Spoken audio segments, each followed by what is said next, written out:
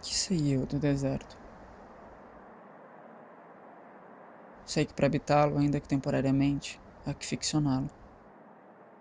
Para suprir o desconhecimento, para suprir a hostilidade, para suprir a secura que a pouca umidade e o calor produzem. Sei que o deserto é o lugar onde não habitam pessoas. Sei que para se aventurar é preciso inventar estratégias. E para permanecer é preciso criar novos contextos, com garrafas de água, protetor solar, chapéus, panos brancos. Sei que sua realidade é indiscutível, mas que seu batismo é feito por invenções acadêmicas, divisões geográficas e escolhas políticas.